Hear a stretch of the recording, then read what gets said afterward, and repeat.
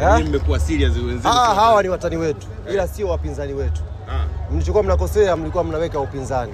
Hawa ni watani wetu, watasalia kuwa watani wetu, lakini sio wapinzani wetu, sio washindani wetu. Hawa levo zao sasa hivi ndio hizo za kina Ken Gold, uh, kina KMC, hapo ndio levo zao. levo ya Yanga ipo mbali mno. Sisi sasa hivi tunawaza kuleta ubingwa wa Afrika hapa Tanzania. Hatuwazi tena kushinda mechi dhidi ya Simba. Hii ni timu ya kawaida mno, na nilisema tokea msimu unaanza, na nyote ni mashuhuda.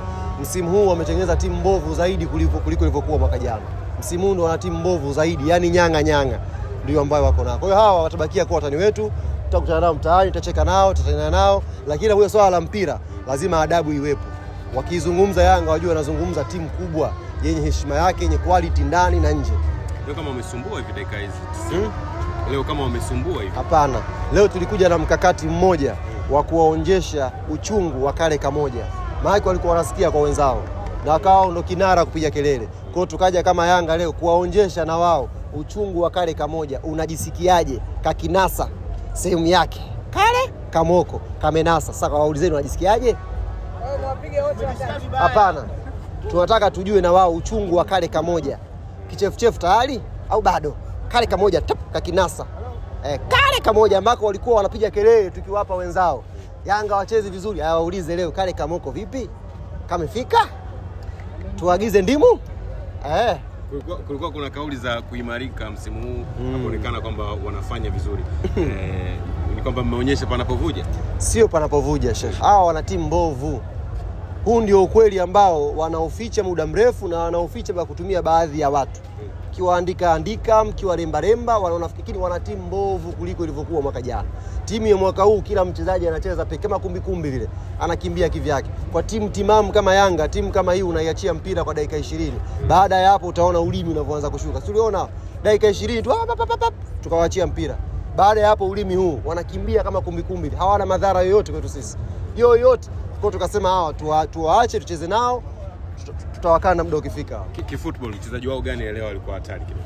Mchezaji wao alikuwa hatari, mchezaji wao alikuwa hatari. Nafikiri hawajamsajili bado. Ateba Ah, huyo mshambuliaji wa kawaida mno kwa kucheza ligi ya Tanzania. Mchezaji mpira yoyote mzuri, tena striker, hawezi kutumia mdomo kabla ya kutumia mguu. Unatumia mguu kwanza ndio unafuata mdomo. Ukiwa mtu anatumia mdomo kabla ya mguu, huyo hamna mali. Alikuwa anatafuta kutrend, leo tunampeleka mjini na yuko mjini kweli. Si alikuwa anasema huko ah, ah, hakuna Ramos huko, kakutana sasa na Pemba Boy Ibrahim Baka, kakutana na mashine kutoka Mbeya, imechanganya Mbeya, imechanganya Morogoro.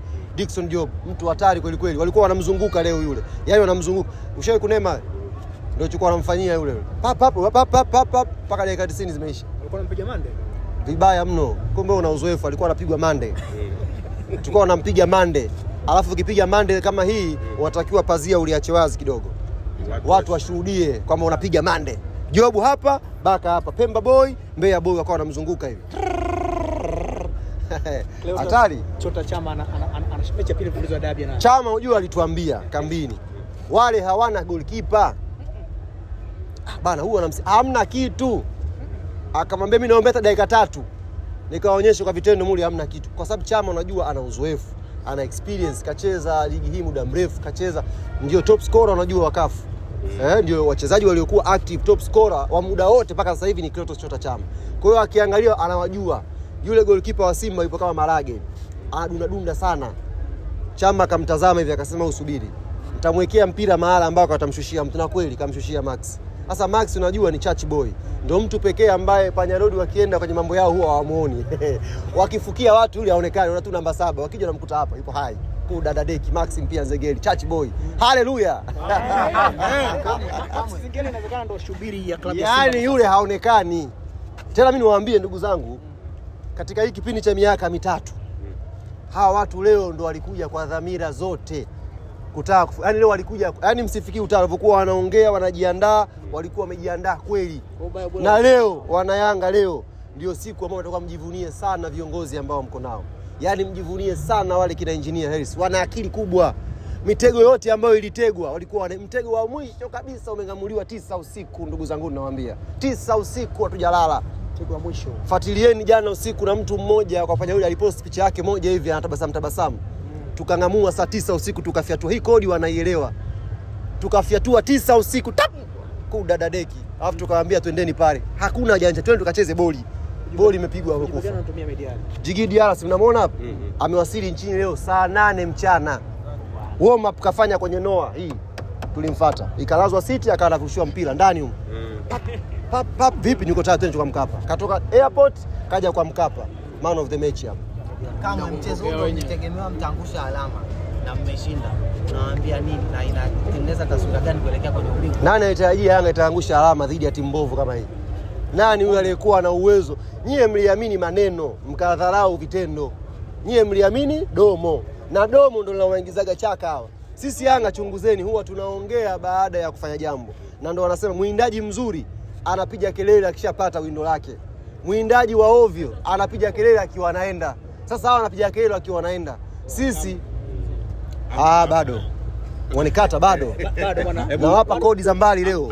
Mwindaji mzuri anawinda akishapata, anapiga kelele akishapata windo lake, anarudi anapiga kelele, mumpokee. Mwindaji wa hovyo anapiga kelele akiwa anaenda. Makolo wote wamenielewa, na niwaambie tu, kwa sababu hiyo timu inashabikiwa na baba yangu, mzee wangu. Mimi nishakwambia Mungu anaweza kumwepusha kifo cha treni, akamwepusha kifo cha ugonjwa, akaja kumuua na hii timu. Tafadhali mzee wangu, jezi yako ipo, pressure hiyo, jezi yako ipo na kadi ipo, njoo huku. Watakuja kummaliza ule mzee wangu, mambo kama haya. Wanaaminisha watu uongo, alafu mali yenyewe hamna, mipango hamna. Timu huwezi kuifunga Yanga, mko watu kama hamsini hivi, watu kama hamsini, kamati kamati hii kamati hii kamati hii, watu hamsini waifunga Yanga.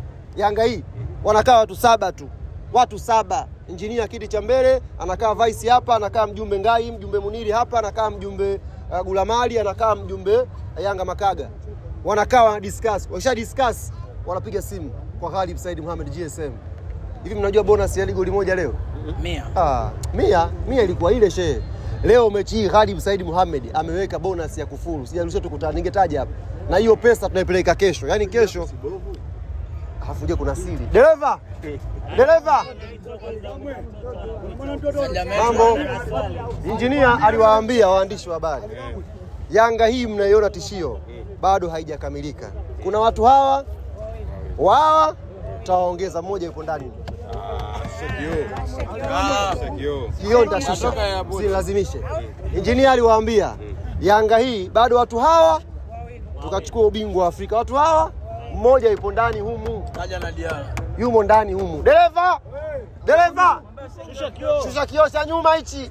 Kidogo. Kidogo. Eh bwana, mimi friji langu bovu. Kidogo.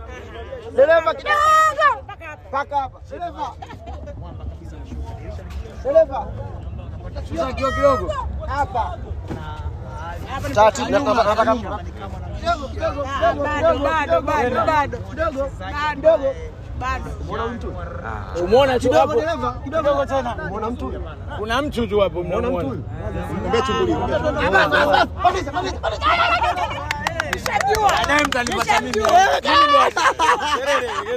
Nasemaje? Bado watu hawa mmoja yupo humu. Wewe tulia wewe, utaje vipi? Maliza na Ahmed Ali. eh. Nimwambie nini mimi? Nizungumze naye nini mimi? pole. Ah, ameyataka mwenyewe. Mm. Mimi nitaingia na kuwa mm. nashabikia naye Yanga. Mm. Sijui imekuwaje kakengeuka ukubwa, bwana. Nampa pole ya nini tena? Kayataka mwenyewe aendelee nayo. Na hii bado Wachezaji wenu wana umri wa, wa kocha.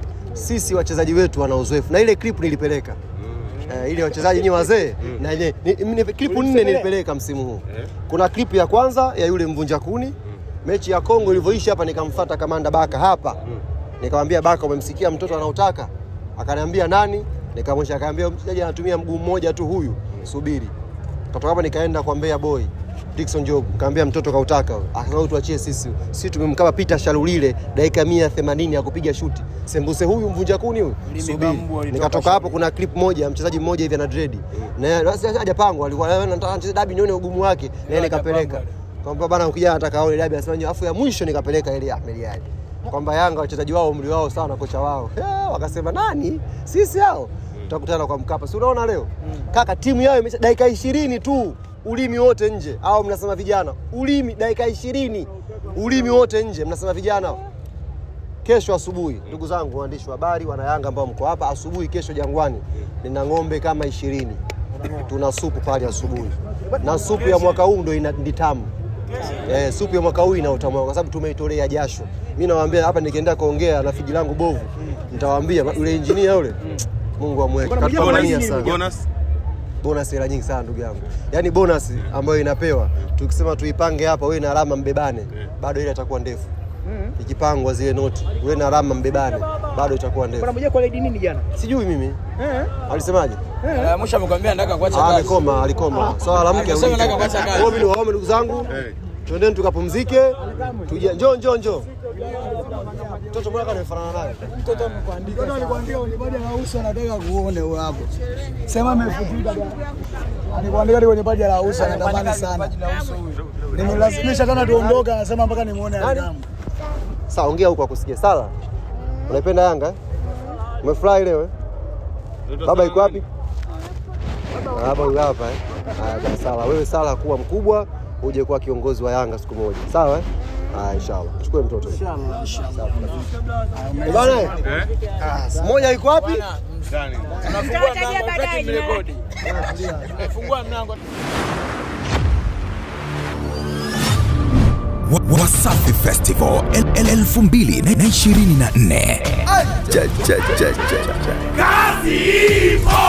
mbili na ishirini na nne. Ja- ja- ja- ja- ja. Wewe Hajachema bado mpaka acheme. Wasafi Festival sponsored by Serengeti Premium Light, Wasafi Bet, Pepsi,